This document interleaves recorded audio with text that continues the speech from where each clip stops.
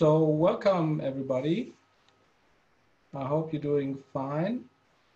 I would like to start uh, the webinar uh, with a quote from our CEO, Peter Sharper.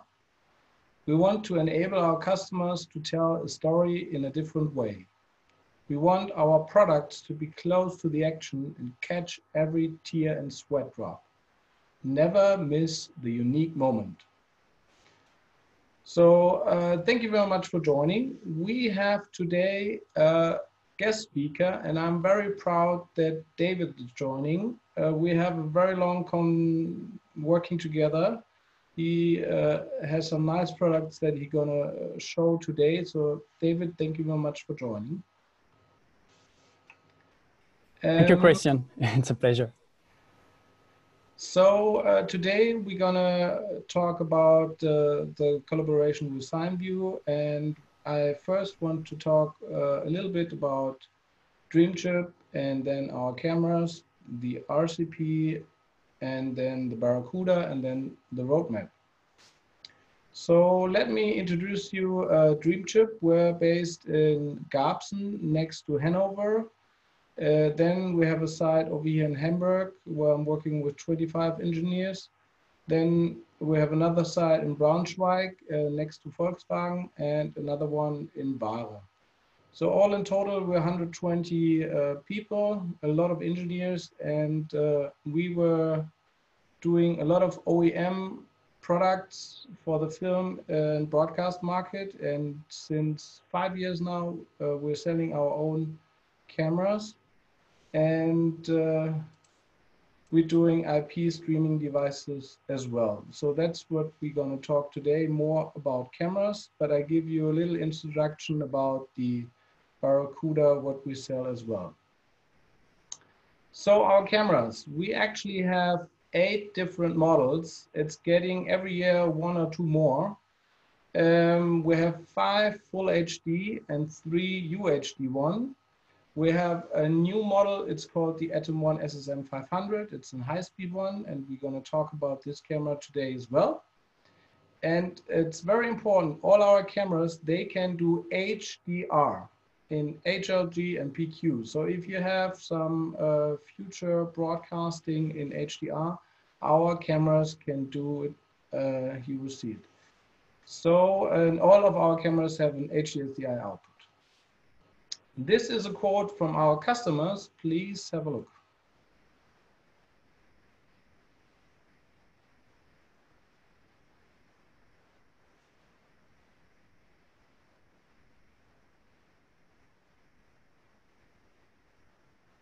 So as you see, um, they could actually match our atom cameras against the huge Sony HDC 4300.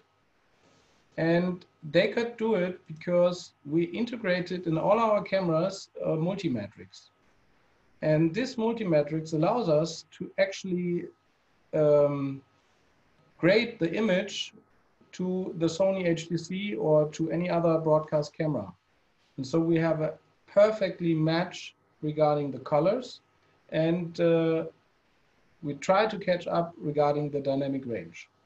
So as you see here, and David will explain later on, um, you have the full control on our small cameras with a multi-matrix.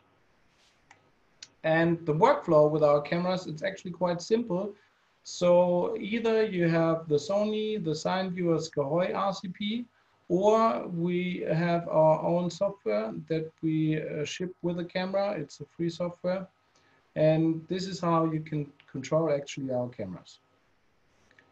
And the Atom One Mini, if you now have a look at the video, is actually such small.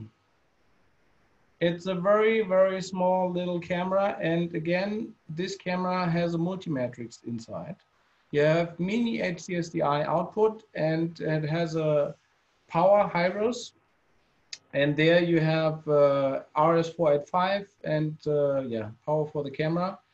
And it's very lightweight, it's 45 gram and has a rolling shutter and it's just three centimeters by three centimeters by three centimeters.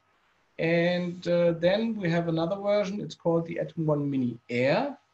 We just from the Atom 1 Mini, we just got two cables out to the top, so we could at least have the half of the size of the camera from the back.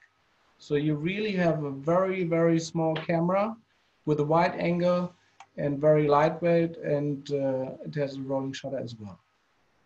So then we put this uh, little camera in a waterproof housing to actually, uh, that your customer um, can work with this camera outdoor.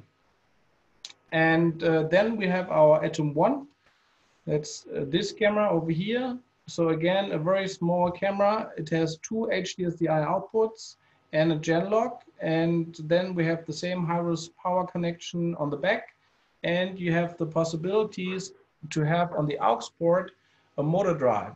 So as you see here in the video, over here there's this aux port and below there is our motor so you can control the iris and the focus with a Cyanview RCP for example. And uh, the Atom 1 4K Mini 7 is the same uh, plugs we have over here. So you have two HDSDI outputs. Uh, then we have a Genlock and the power and the aux port. And the camera of the size is like this. So if we had before the Atom 1, the size is a little bit bigger. And just to have the full picture, that's our Atom 1 Mini. And uh, the 4K has the smallest sensor. That's the reason it has a very small lens at the top of it. And uh, we have another version. It's the Atom 1 4K Mini 11. It has a two-third and you can put actually B4 lenses on it because we have an adapter from C mount to B4.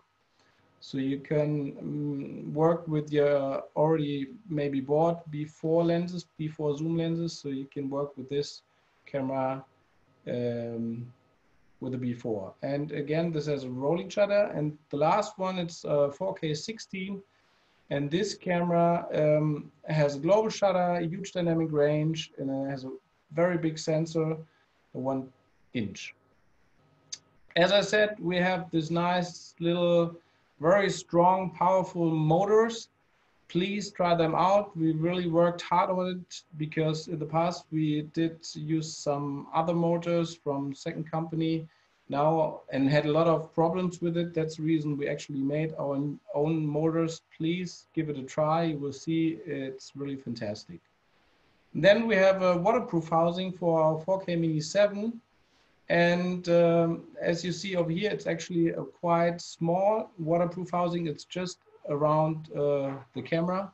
And you can go in the water pool. It's gonna go to 25 meters. And as I said, we have a new camera, um, the Atom 1 SSM 500. It's our super slow motion camera. You have on the back five HDSDI outputs. And the first camera, which is very important, it's, you can control over IP. And uh, regarding the sensor, so it has a global shutter. You can run it up to 500 frames. Um, we have two different modes, so you can have it on SSM mode or trigger mode. Uh, as all our cameras, they are doing HDR, and we have uh, four SSDs built in and you can record 60 seconds of footage in 500 frames. So afterwards you have tons of data and a lot of things to record. And uh, so this camera is as well very small as we're doing small cameras. And we have um, a B4 mount and a C mount ready. So the SSM mode, it's if you connect it to EVS or any other storage device, you can run it with the SSM mode or in the trigger mode. And that's the other version. You can run this camera. So as I said, we have a C mount and a B4 mount ready. And uh, if you have a B4 zoom lens already on the bench, you just connect it to the cameras and you're ready to go. Um, then um, David will explain you today a little bit more about the control of the SSM because you can control it over the sign Cyanview system.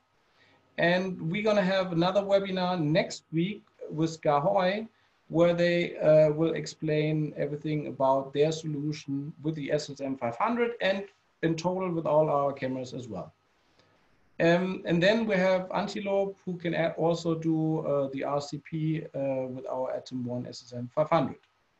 So the workflow with our cameras, it's actually quite easy. You just uh, plug it in and then you have the Pro Video software and you can connect it with a computer and uh, control everything on the camera or you use uh, the VicoBox and this gives you the possibility to work with a Sony RCP and uh, this is just another uh, way around because we have actually our software is open source on the camera, but uh, Sony make their own pro protocol. That's the reason we got the Vico box from some Russian people we had uh, two weeks ago in the webinar.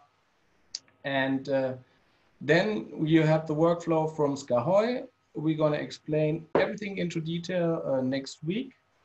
And then we have the workflow from Cyanview and David will now give you a fully uh, introduction about what Cyanview is capability. David, that's your show. Thank you, Christian. So I'm going to uh, share my screen. I will steal you the Please go ahead. Meter. I guess you see it now. Uh, should be in the slides, right? Yes. So uh, Cyanview, we um, we started with um, I would say mini cameras. So we're not. Uh, I mean, this is quite familiar uh, to us, but uh, but we evolved now and uh, and really we focus on uh, bringing camera control, shading to most of the cameras that don't have their proper RCP. And so definitely with uh, Dreamchip, we have something. Just for the people that know us from different angles, we're active in in a couple of fields.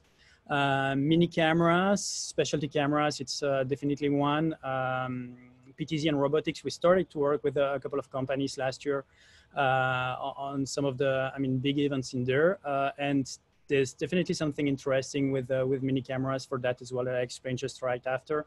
Uh, we have RCPs also controlling some color correctors digital cinema cameras and ENG for camcorders, that's a bit out of uh, the focus here, but uh, with ENG and digital cinema cameras, we went into remote production and, uh, and controlling this kind of cameras uh, remotely over uh, the internet over 4G uh, is, is definitely interesting for a POV as well. So you can, on the very high, um, high-end productions, for example, a remote um, beauty shot or something like this, uh, and on smaller productions, you can actually, with the quality that uh, you have on the Dreamchip cameras today, you can actually use them as main angles uh, just to put uh, on remote places uh, at home or remotely controlled.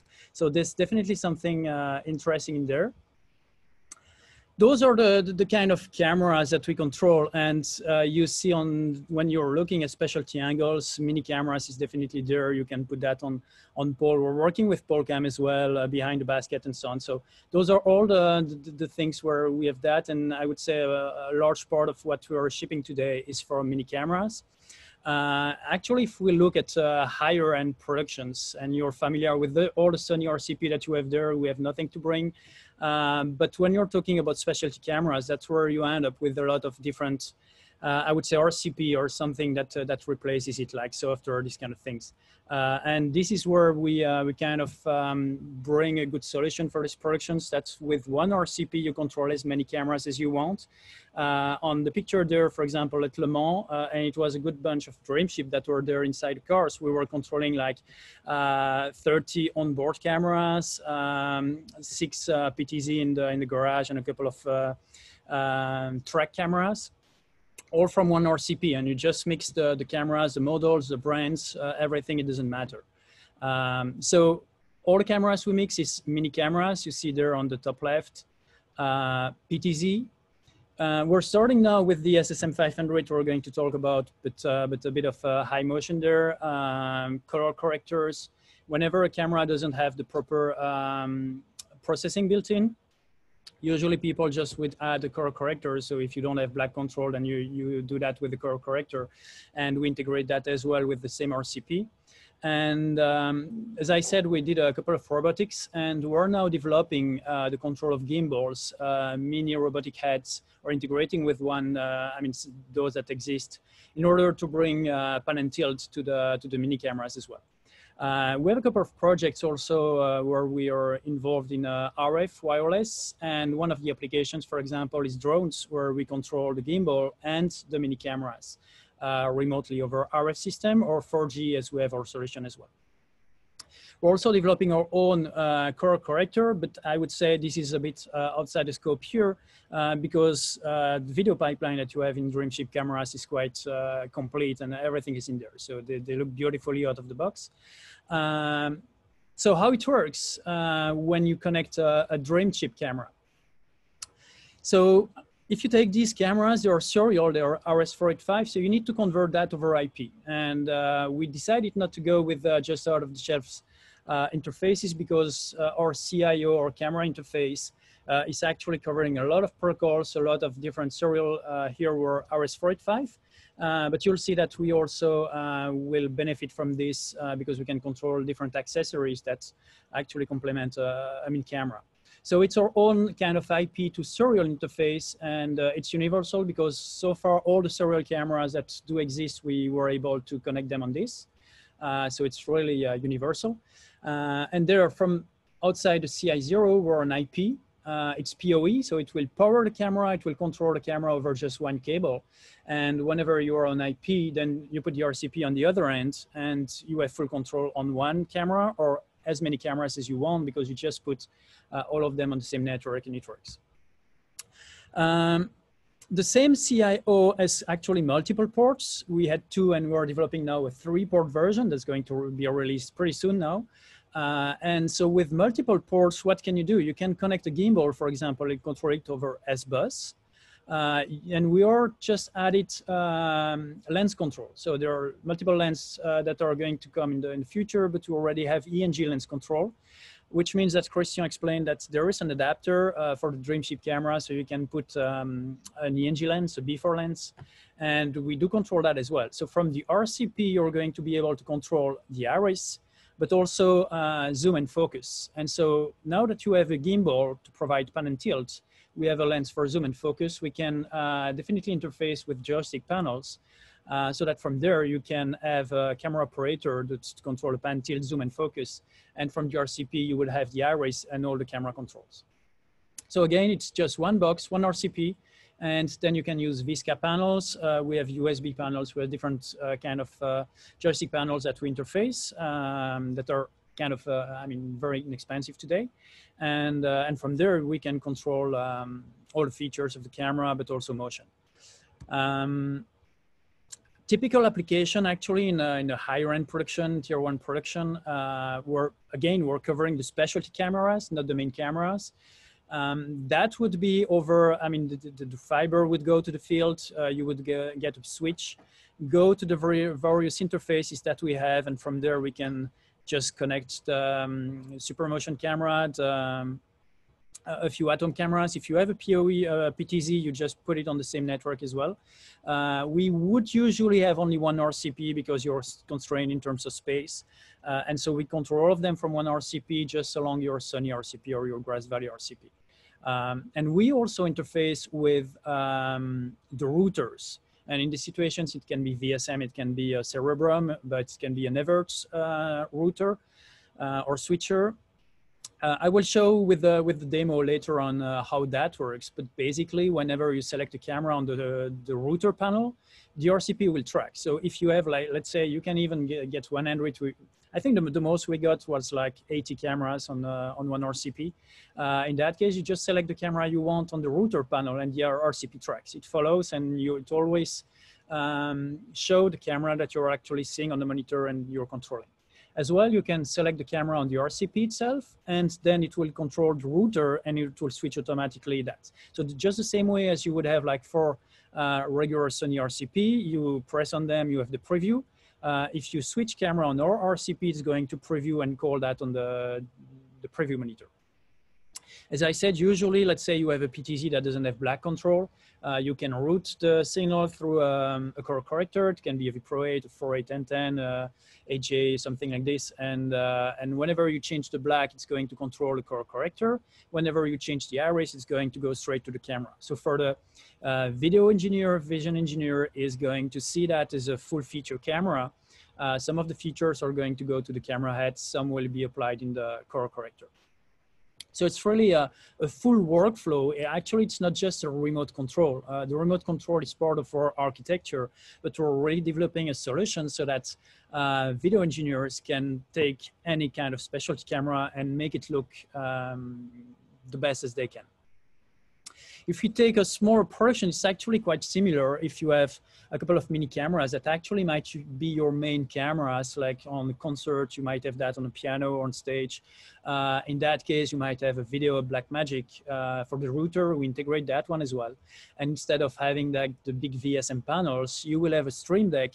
Uh, I will show you after. We uh, were doing that also. We just integrated with Stream Deck so that you can use that as a selector for your RCP. So when I say uh, we can have like maybe eight cameras on the RCP, you have your Stream Deck on the side and you select cameras from there. Talking about the new SSM500, we're just actually now uh, integrating it. Um, we, again, there are multiple remotes that do exist and we wanted to have uh, different solutions to, uh, to provide. Uh, the same interface is going to control a camera remotely uh, from an IP network.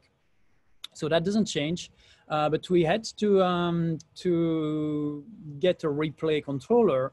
And so um, the various options we chose uh, are the, um, the ShuttlePRO because a lot of people uh, have it, it's inexpensive.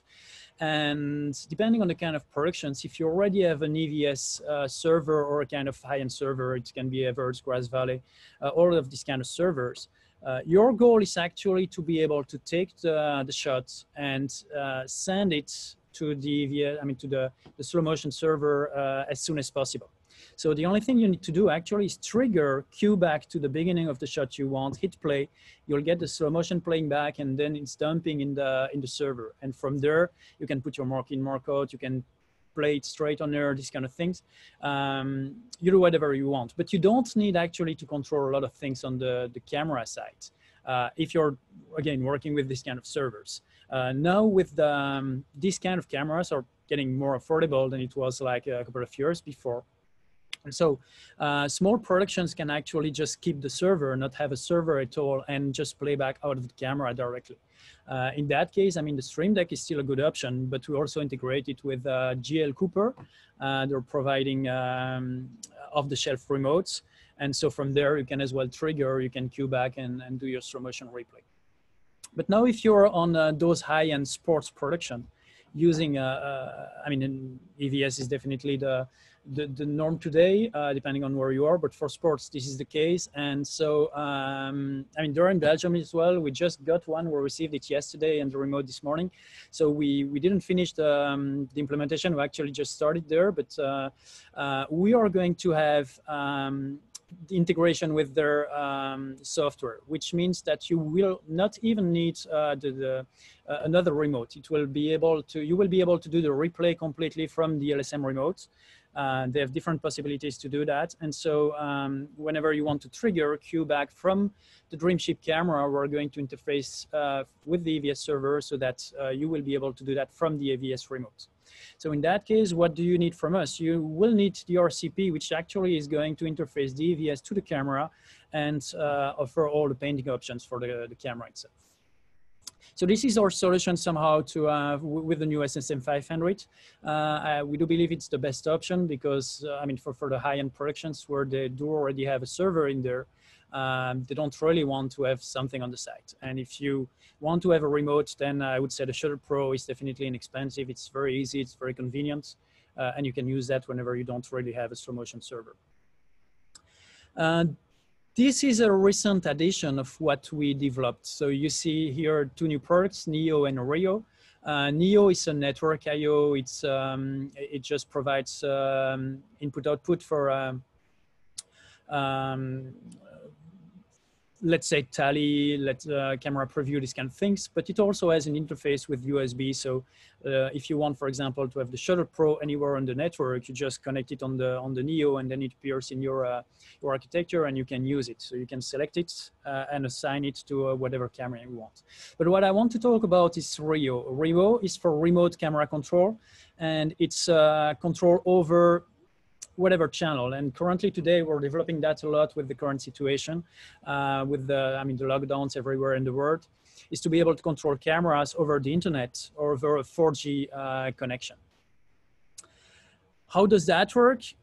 Let's say, I mean, we're used to the, the cellular systems, LiveU, TVU, Mobile Viewpoint, AVIWEST, all these kind of things where you connect a camera, you have a backpack, and there you go. Um, today you don't have camera control. And so Rio is basically a companion product with this kind of streaming solutions uh, where that can access the internet through an access point provided by uh, the unit or by its own uh, 4G dongle um, or Wi-Fi. And so whenever you have internet access, we have a relay system that uh, will just take any command from the RCP and send it to the camera. So it's very handy for ENG camcorders, uh, for sports, news, these kind of things. But uh, specialty camera, mini cameras, if you want to put a beauty shot on top of a building or something like this, it's just basically a plug and play solution today and you will get uh, control on the camera. It makes sense also to have uh, control on robotic heads, uh, pan and tilt, because then you can change the framing. And now with the motors that Dreamchip are providing as well on the lens, this is uh, control that you will have remotely as well on focus, on iris. Um, all those kind of things are possible today. We also have Remi. Uh, Remi is a bit different than Rio. Uh, it's, it's really a remote production when you have full production, uh, multiple cameras, a lot of things, uh, maybe different venues, and you want to control this over the internet. Uh, so that's still, still possible and mini cameras are going to be involved. but I would say whatever works in Rio is probably easier to understand right now. Rio is like our CI0 interface. It has two ports, serial ports that we can connect uh, mini cameras uh, from Dreamchip, but we can connect the gimbals as well. We can control an ENG lens, uh, all the accessories that we developed. Um, the thing is that now it has a 4G dongle option. And so with that, you can just control the camera everywhere. Now, Dreamchip is also, there uh, Christian's probably going to talk a little bit about that after the, the Barracuda, which is sending uh, video. Um, so you just put a Barracuda, a couple of Dreamchip cameras, and Rio will provide control uh, remotely today. Uh, in the future, I know that the Barracuda will also um, send control, so we'll just interface with that unit. And for Dreamchip cameras, you will be able to uh, control them without even uh, need its Rio. Uh, but if you want to use a Barracuda to just uh, control any other camera, and it can be an ENG from Sony, uh, from Panasonic, from um, uh, or cinema camera from Canon, uh, you just connect them on the Barracuda, you will get the video, and if you put a Rio, you will get control on these cameras as well. How does that work now with uh, with Dreamchip? You put the Rio there, you we have two ports, so you can connect a, a, robotic head or a, a gimbal. You put the camera, the radio will be connected on the internet. We have our relay solution in the cloud and the RCP. We can also uh, interface with one of the, the joystick panels we support. Uh, and there you go. You have uh, paint control, you have uh, pan and tilt control on the camera remotely. It's not more uh, difficult than this. And so even though we have some other products like the um, or color corrector, uh, Neo, I think for Dreamchip cameras, the basic products that we uh, we have today our universal RCP. We also have frame so that it fits the same as the regular RCP size in the in the trucks. You see that at the at the top we have some space that we can actually put at the bottom, and uh, we're now developing some accessories. Uh, for example, uh, joystick so that you, you will be able to iris the, um, the cameras with the with the joystick there if you want to uh, to use multiple RCP and one RCP per camera. Um, or uh, we, we, might have like a small um, joystick for PTZ cameras or these kind of things.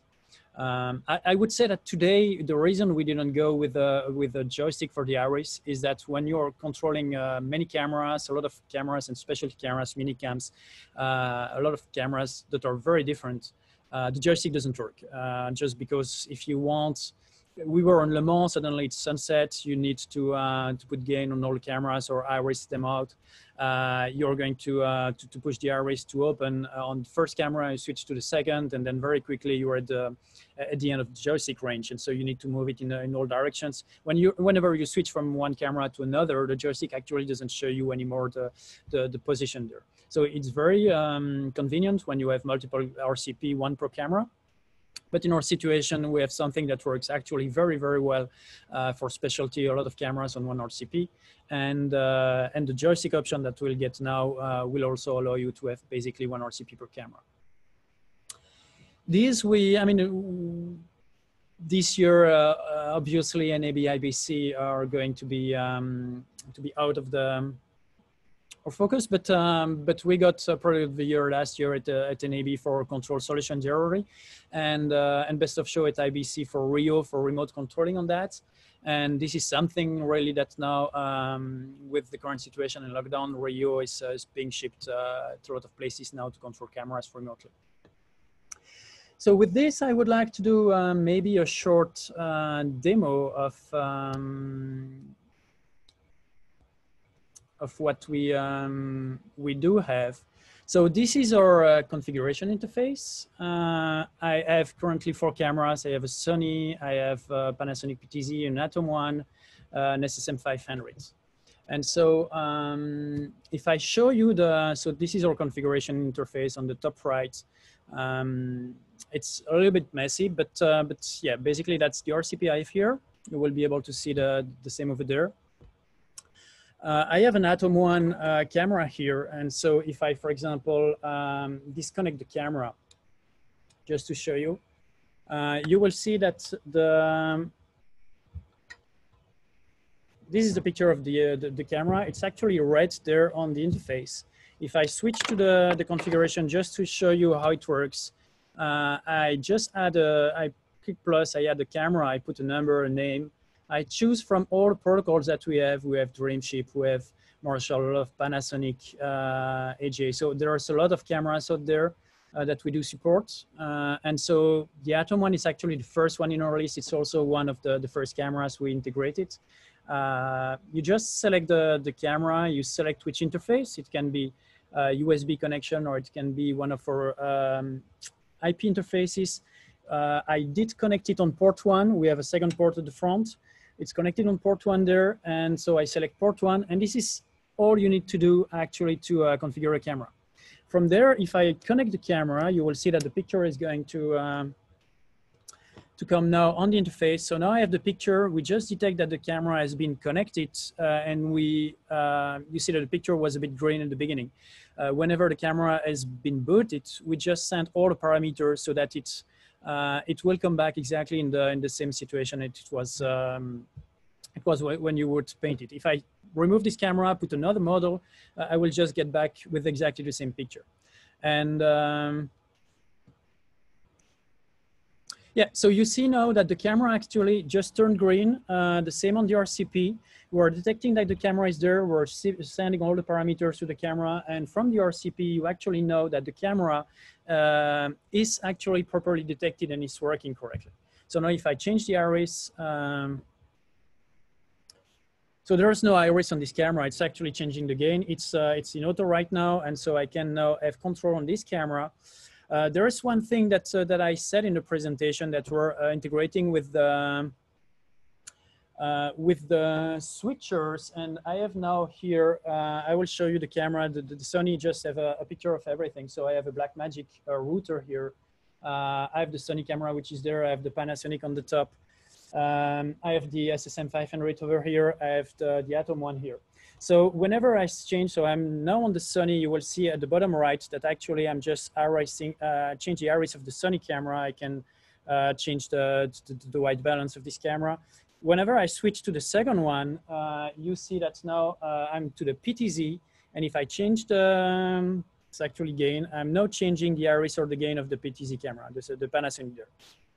I want to do white balance, which is something that I need to do right now. Uh, just press on white balance and I have it. Uh, if I go to the uh, next camera, this is my Atom one, which is here. And I can even put a color chart here to show you a couple of the the, the features that we have with this camera. So uh, you might see even there on, on the left, I have uh, a small um, vector scope there. And, um, and so, as I said, we have iris control. So as I explained, when I switch cameras, it's actually changing the Blackmagic all the time. If I can uh, change a different source from the Blackmagic, it's actually going to change the RCP. So now, uh, if I select another camera, you might see it there on the right. It's, uh, it's following the, that camera. So back to the, the Atom uh, camera, I have my core chart here. Uh, I have the auto button. Uh, it's going to just change auto exposure. If I remove it, I have if I have an iris, like with the, the lens option, I can control the iris by default. Here, there's no iris, so it's actually controlling the gain, uh, but I can change the shutter as well. Um, I can change the, so the, the, black, the black balance, white balance, saturation, uh, the gamma is here, detail. Uh, and if I go to the, well, I have scene files. I can save as many scenes as I want. I can record them. Uh, I can even save all cameras at once. If I have 10 cameras, I just press save all and I save them all, or I can recall them, or I can paint one and call back the settings to another camera. Uh, in the paint menu, we have the, um, the gamma with the, the core gamma. Um, we have saturation, detail, uh, denoising there, uh, matrix, uh, the multi-matrix. And so this is something that I wanted to show you. I can uh, turn a, a, gate effect on the multi-matrix. And so with that gate effect, I can basically select any, so you'll see on the, the vector scope of there, it's actually turning there. I can select any vector I want. So let's say I want to change the red. The red is a bit off. Now I can change the, the hue and saturation of that. So I can put a lot of saturation and change the hue of this to have it a bit more um, purple or orange. And um, how does that work in the field when you have a mini camera and you want to match your main Sony cameras? The, um, the difficulty is that the green of the grass might be off, the red of the shirt. It's not like all the colors, the, the, the camera looks good, but not all the colors are going to be off. But definitely your main colors, the blue of the sky, it's very quick actually to just pick the color that you need uh, and then you can change the, the, the UN saturation um, of that color. So now if I want to put, uh, put more saturation and get a, a better red of that or uh, in the other, it's actually very quick and I can do the same for the other colors. Um, we have knee, we have white clip, um, not skin tone, and of course white balance. Um, we have OSD when the camera support OSD. So uh, I said, for example, we have the PTZ here uh, I go to the OSD and I click on menu and then I can uh, change all the settings of the camera itself. I can navigate the menu of this and that would be the same for all the camera that uh, do have menu options. Uh, exposure index, shutter, uh, clear scan for the camera to support it, uh, which we have here with the, the Dreamchip. and we have tally. So tally, the, the, the camera itself doesn't have tally here. We do have it on the, on the Panasonic. But uh, even though there's not a tally light, uh, you see on this picture here that actually um, the, um, there is a tally option uh, in our system. Back to the, the atom there, I can turn it on and off, but that would uh, definitely come from a, a GPI or TSL. Uh, the thing is that you can have tally on our interface here, but we can also provide tally on the GPI that we have on the ports. So it would be possible for you to just uh, put an LED wherever you want or, um, or just send a GPI signal that you uh, connect to, um, to your system. And in, uh, in the custom, we have a couple of things like uh, we can store uh, the current settings as a fact, uh, I mean, default of the camera. So let's say you want to paint the camera, you want to have a, um, the, the, picture that you need, and then you need to use it in a, in a helicopter, in a shot where you cannot connect uh, the whole system to have paint control. You can still paint it, you can save that inside the camera, and whenever the camera will reboot, it will just keep these, uh, these settings. So, uh, and lens options, uh, it's not something we have here, but if I go back again to the, to the Panasonic, that's where I can move the camera around from here. Uh, I can uh, also use the encoder to uh, zoom in and out. I can uh, recall positions there. So I, I, might have just different option to do this. and that will be the same with um, a gimbal that would be on a mini camera like the, the Atom one. Uh, or if you have an ENG lens, you will be able to, uh, to change the zoom and focus from the lens itself. So that's uh, an overview basically of all the settings we have um, on the Atom one. And then the last thing that I, uh, I could show you here is the, um, the supermotion. So this is the, uh, the view of the SSM 500. Uh, sorry, we didn't have really have time to, uh, to, to put like a, a nice demo with, uh, with super slow motion and water and these kind of things. Uh, so it's going to be um, a, a, bit boring, but um, I have the, the Stream Deck, the, the ShuttlePRO here. I have the JL Cooper remote over there. Um, and I have the Stream Deck here actually that I didn't show, but so the on the Stream Deck itself, uh, I can select uh, the cameras that I have here. Um, and again, when I select camera here, the RCP will track and I will be able to change the, the settings there. So back to my super motion camera. Also for a PTZ, we might have cameras, we might have scene files, uh, we might have positions that you will be able to recall from the, the Stream Deck uh, itself. But for super motion here, uh, how does that work in sports if you have, let's say, soccer, football, uh, and uh, you're capturing a, um, a, goal or something like this? Uh, let's say I have a first action that I want to, uh, to have. I will trigger this, and you see that now the, the picture is, uh, is stopped. Uh, now I can put a second action on, on the camera itself. So if I, let's say I have a goal, I'm going to cue this back, I'm going to hit play, and this is going to be a recording in the server. But now if I have second action and I see it at the same time because I have second signal with the live, uh, then I can trigger a second time and I might even trigger a third time for, uh, let's say, a view on the, on the public or something, a shot of the public, the flag.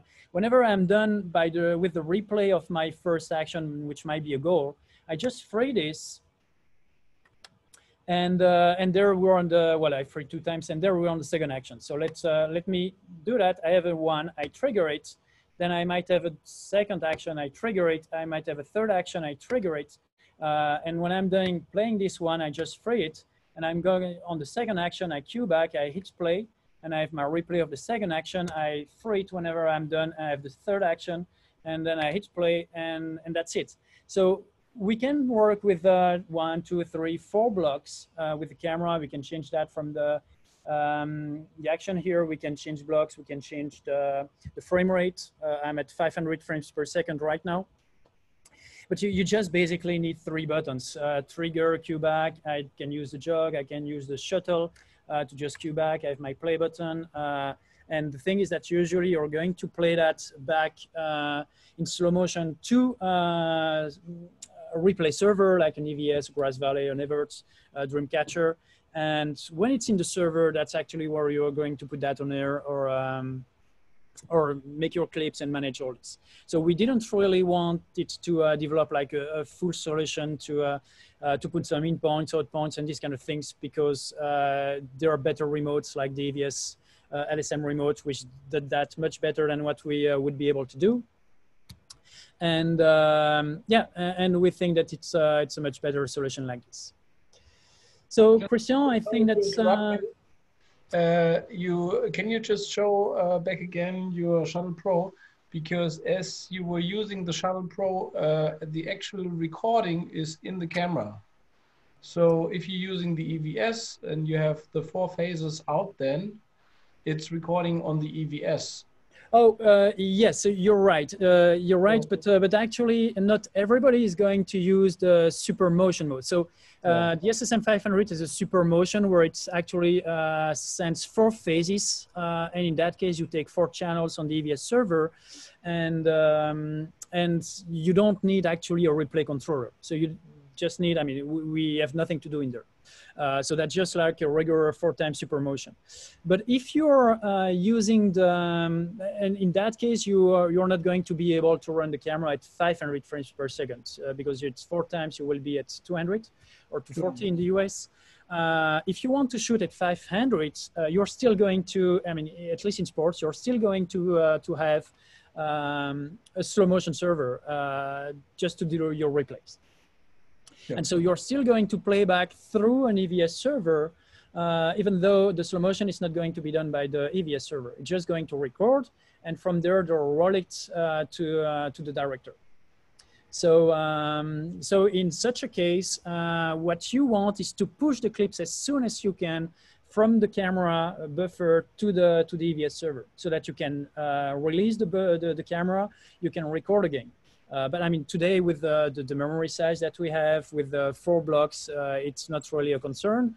Uh, but still, the, the, the, thing is that whenever there's a goal, you need to trigger, you need to cue back to the beginning of the action, you play back, and this is what is going to be recorded by the EVS server. And as soon as you hit play, you can basically on the, on the EVS server be on hold for the director and ready to roll it whenever they want to do, do the replay.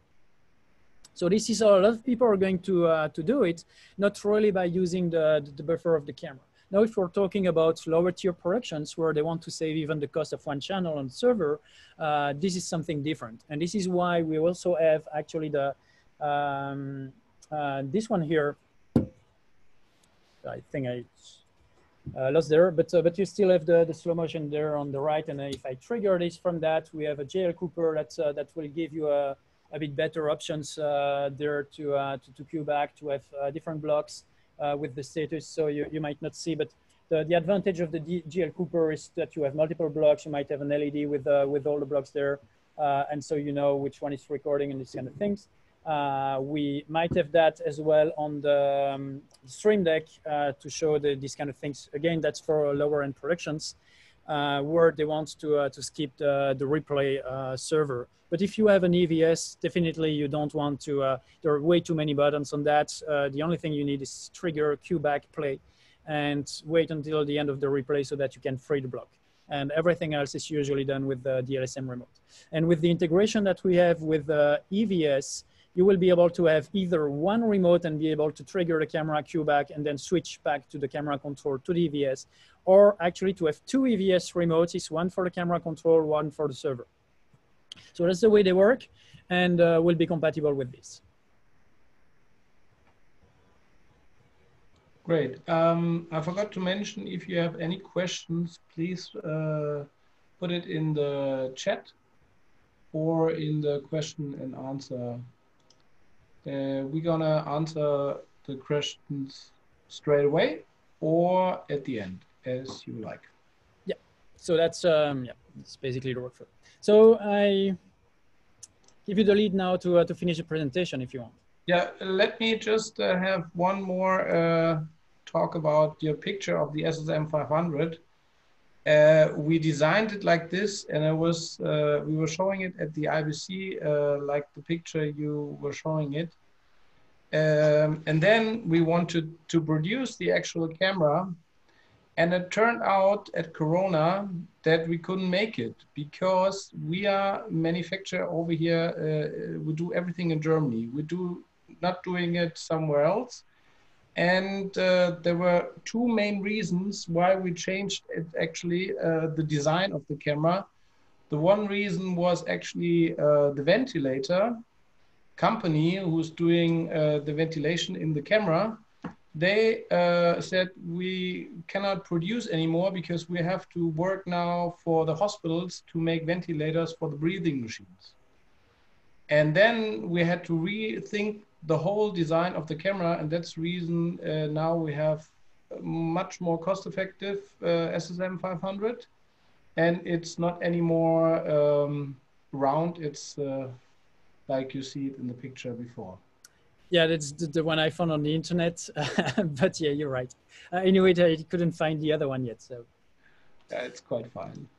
Um, so now you just had the full picture of the Cyanview system uh, as I said, we're working together very long, uh, and uh, it was always fantastic. Your products are working very nice, and we would love to go further. And as you see, we're going further and further, and uh, we're gonna have some new cameras uh, this year and next year. And I think uh, Cyanview is always a good partner for us. So, David, thank you very much for explanation. And uh, if you have some questions. Um, there's already one popped out for the 4G LTE remote connection and control. Do you use network bonding? I think, David, this is something for you. Um, so uh, we don't use network bonding. We yet uh, we might, uh, but you have to understand that for the the connection we're not doing the, the video. So that would be in the Barracuda, that would be in the LiveU system. We're doing camera control. So there is no latency actually, I mean, very few compared to the latency you will get in the video. Uh, I mean, last year at NAB, we did the demo uh, from NAB to a server, which was at that time in France back to NAB. It was like 200 milliseconds. Uh, most of the time you'll be below 100, uh, which, I mean, depending on the, it might still be a concern. So you might not be able to do robotics and have a tight zoom, uh, uh, I mean, um, shot and do pan and tilt to, to follow an action. Uh, it's not the goal, but so we were not taking care of the, um, the video. So it's for us, it's very low bandwidth. It actually costs nothing. Uh, and so uh, the reason why we, uh, we will add bonding is that whenever you, some of the applications, for example, we have is control cameras on motorbikes. And there you might move from one network to another. And so you will lose control. While if you put two uh, SIM cards from two operators, the bonding will help you go from one network to the other without losing control. So this is one of the reasons. Uh, the other one would be you're on Wi-Fi network. You don't know if that's uh, going to work. You have 4G as a backup. Uh, whenever one network will drop, uh, it might choose uh, the, the, second one. So there it makes sense to, uh, to make bonding, but you have to understand even though it's the same kind of technology, uh, it's not um, the same as the, the, challenges that they have with video, uh, where every single pixel needs to, uh, to make it to the other end and so on. For us, camera control is, is something which is different, which has its other challenges because a lot of uh, protocols from cameras actually don't play nice with latency. Uh, so Rio is actually controlling the camera locally, close to the camera. And so uh, we're not uh, subject to latency problems because we, uh, we master the whole um, I would say network between the RCP and the Rio. This is our own stuff, so we can deal with the problems on our side. And between the Rio and the camera, then there is no latency. So uh, then we don't uh, depend on the camera protocols. It can be any camera. So I don't know if that answers the question. You might, if you have something else, just uh, don't hesitate to uh, to put something else. But uh, but yeah, it's it's different concern with uh, with the video. But that was a full answer, I guess. Uh, then Luca was asking something, uh, David. Um, maybe I can ask answer first, and then you can give it a go. So, uh, can I create a profile to upload the Atom camera? Um, uh, yes, definitely. Uh, you can save scene files just like on the Sony RCP. So, if you if you use this color chart here and uh, and you spend a bit of time uh, on site with the, the proper lighting and everything, and you you match it, you can save it and reuse it. Uh, the thing is that um, the next day uh, the lighting might be different and these kind of things, and it will uh, uh it will not necessarily match anymore because you have different sensors, they have different spectral response. Um, uh, response curves, uh, sensitivities. And so um, if you have a perfect matching, you change the lighting, it doesn't work anymore. So we actually, our, uh, our goal, and we're not there yet, but our goal is actually to achieve this, to have a, a proper matching with all cameras. This is also why we have our own color corrector. It provides uh, a bit more flexibility in there. But using this color chart in the future, uh, we'll, we will have uh, built in the system some profiles for the camera to, uh, to better match Sony, uh, a Grass Valley, a Panasonic, an Hitachi camera, and, and a way um, to assist you to make easily the profile yourself. So you, you can use the chart, for example, put it in front of Sony, put it in front of your Atom camera, and then uh, we'll have the, the, possibilities there to, um, to make it look good uh, easily. And it's, it, I mean, uh, it will help a lot of the, the smaller productions as well, uh, because that's where they actually use these cameras mainly today as main angles as well uh, not really a specialty uh, for something that might just show up one time in a in a show. Uh, when you're on the lower uh, end production, they really rely on these cameras and they need to have a proper picture. And the sensor, the camera itself, definitely looks good. Uh, so the matching is something we want to address uh, as well. And this is part of core science is something really that we we have a lot of interest. We did a lot of um, of work on that already. Nothing released yet, but I mean but uh, but yeah, definitely we are we'll have more in the future. Uh, and something maybe to explain also with our system, uh, as I said, it's an architecture. It's a lot of software, um, so it's all basically the, the, the, way to IP and everything is, uh, is kind of the, the core of what we do. Uh, we also believe in, uh, in uh, upgrades rather than just replace the hardware. Uh, so we have like two, three releases a month with new features, new functionalities. So when you buy our system, you basically will have something of much more value in, in a couple of years because we don't, didn't, we don't really intend to throw them away and replace by new versions. like the, the, the CI0 interface that I have here, it's an IP to serial interface. In 10 years, it will still be an IP to serial interface. Uh, and it's keep adding new features. Now we control gimbals, we control that. We'll, uh, we're going to add, uh, um, I mean, uh, new protocols all the time. So um, this is really something that's, uh, that, that, that we're quite happy with because a lot of customers just didn't know at the beginning when they bought our system that they would have so much out of it just after. And so it's, uh, it keeps updating. You just have a web page. So the, the, the page I showed earlier, uh, you click on the admin, you see all the release, you click on one, and that's it. It will update the RCP, it will update all the interfaces, it will update everything uh, by just clicking on that. And if you test a new version and you have something that uh, doesn't work. I mean, uh, it's software, it's, uh, it happens all the time. We don't want to hide that. If something doesn't work for you, you just click on the version you had before and you're back exactly to the same situations you have. So it's, uh, it's a very quick way. It takes like uh, 30 seconds and you're back exactly in the same situation. All the firmware are going to be downgraded. Everything is, uh, is following this. So uh, we really took the, the, the broadcast um, uh, constraints into, uh, into account when we designed the system so that you can keep on with the updates. You don't have to wait. you can apply them if you have whatever that doesn't work the way you want and you had it right in, uh, in the, the, previous version, you're back to the previous version in, a, in one minute. And just to mention it, uh, you know, we are doing the same. So uh, we're releasing always every two months at least an update for all our cameras. Um, so in the future, you know, we always try to do. Now we implemented HDR, and uh, we always want to have this product very reliable and very strong, and that you see in the housing and uh, most of our cameras they only come back if a car is crashing it or something.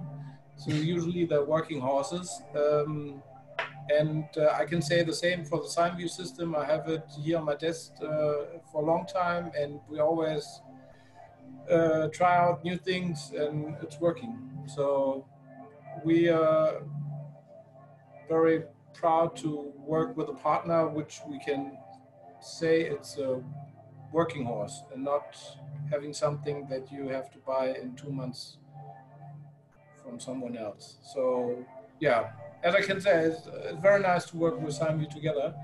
Um, maybe uh, just to follow up, um, if there's no question, I have uh, just some few slides and there is a church next to me. I'm very sorry for that ring bells. Um, we're gonna do a webinar with Polecam and uh, we're to use um, the SSM 500 and uh, having the Polecam. And please join us with this webinar. It's the 25th of June. And uh, we're to explain the whole system with Polecam together. And uh, then let me show you some product applications we do. So we do reality TV, maybe you know Ninja Warriors. We're working very close together with Endemol Shine. They're using our cameras quite a lot. Um, then we're doing, of course, sports, as David mentioned. Uh, we're doing a lot of soccer, ice hockey, Formula One. Then we were together in Le Mans. Um, as you see on the left side, that's a picture from Polecam. Um, and so we were very sad uh, that uh, the Olympics didn't happen this year. Hopefully, will be next year.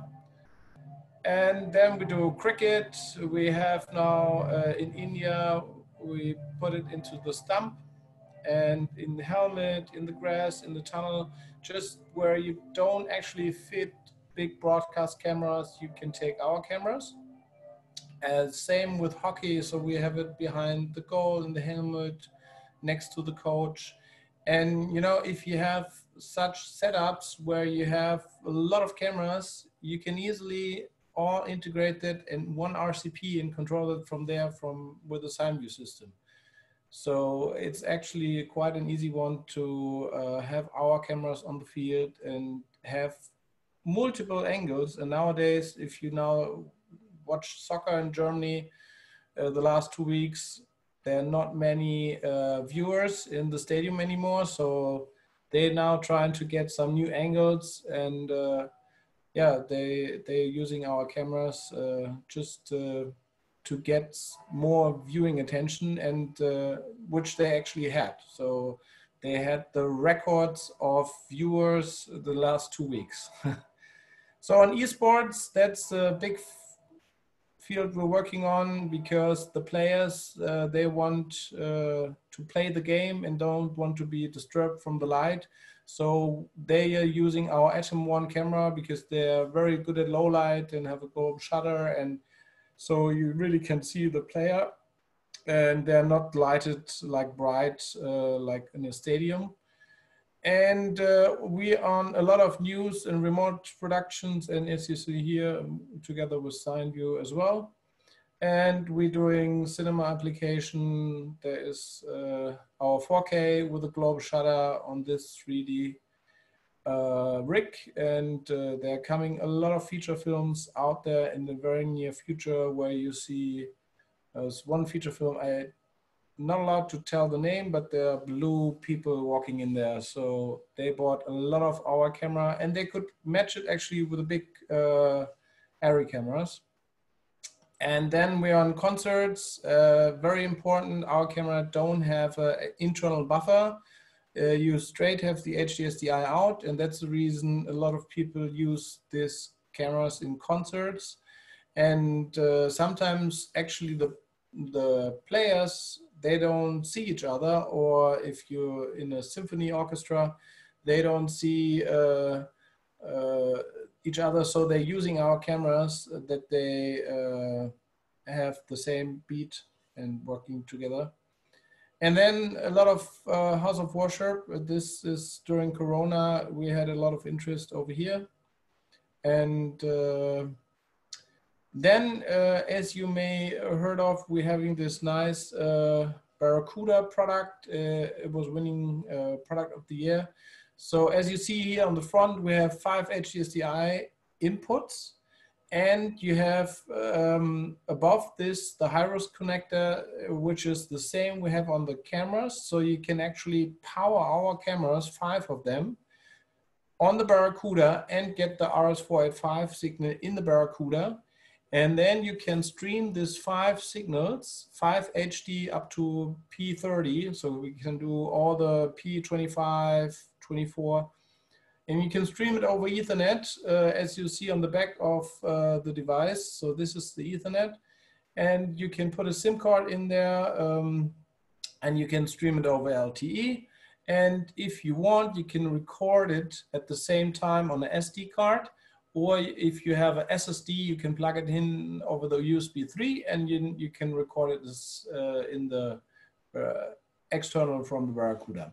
And we have audio input and output as there as well. So here you see all the specs uh, we have in the Barracuda. It's ready to ship. And last week, uh, my colleague Stefan was giving a webinar. If you want to listen to the webinar, um, it's actually in all the emails we send out. And there is another question. Yes, uh, we're gonna send, uh, so the question is, is it possible to receive the recording of this presentation? Yes, there's a recording and we're gonna send out next Monday the next email for uh, our webinar with SKAARHOJ and on this email you will receive a link where you can download this um, webinar.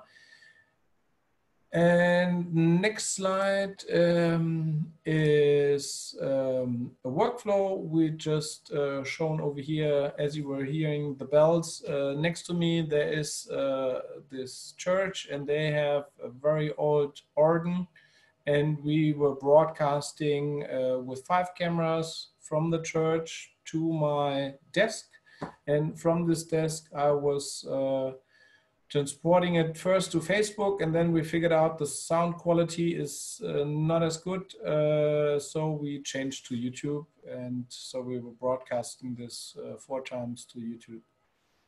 And uh, we were using the encoder and decoder, um, and was quite successful.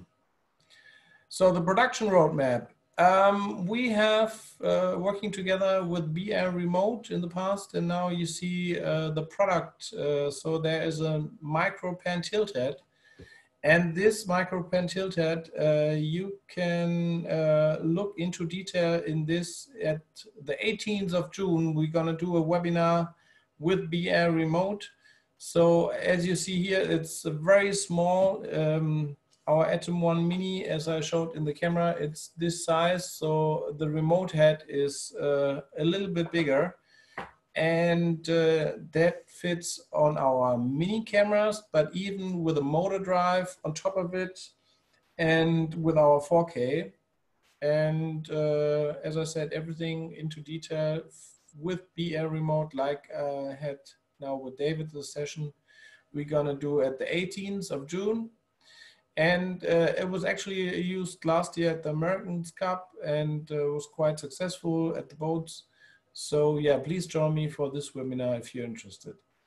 And then we're gonna um, have a little Zoom camera.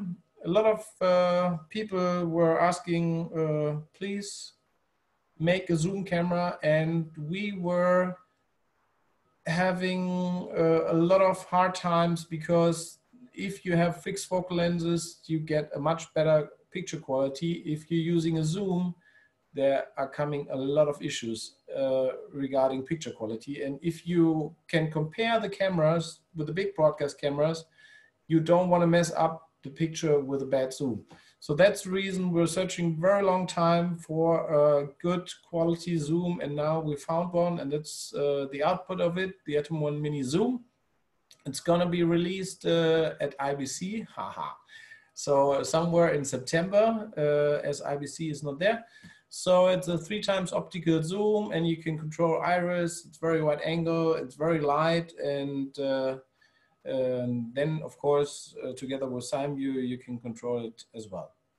So if you have some questions regarding how I can use the Cyanview system or the SKAARHOJ or Sony or how I can control the uh, Atom camera, I made some videos. Um, please have a look at Vimeo.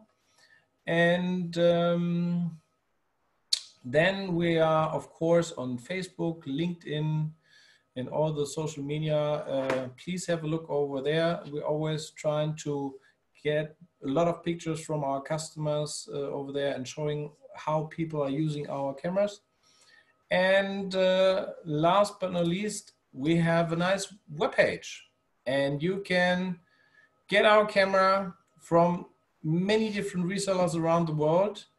Please go there, chat with them and get a demo. I'm a big fan that you test our cameras against any other small or big camera and um, get it out, uh, test, test, test, and then see the results yourself. And please contact the resellers you find on the Atom webpage. And that's some reference we did uh, in the past. So uh, some of the big customers we're working together. And as I said, we're doing uh, in this June, we're doing three more webinars because uh, in the past uh, four webinars we had a lot of attention and like today and we're gonna do next week with SKAARHOJ, then we're gonna do with BR Remote, and then we're gonna do a webinar with PoleCam. And last but not but least, do you have any questions? Please write it down in the chat or in the Q&A or write down my email and send me an email or write my colleague Stefan an email and uh, we try to answer it very fast. And uh, if you don't have any questions longer to me or to David, then it's only to say thank you very much, David. Was a pleasure. And uh, I hope you're all safe out there Um, and uh, yeah, hopefully see you next year at NAB or IBC and uh, have a good evening or a good start during the day. Thank you very much. Thank you as well, Christian. Au revoir. Goodbye. Bye.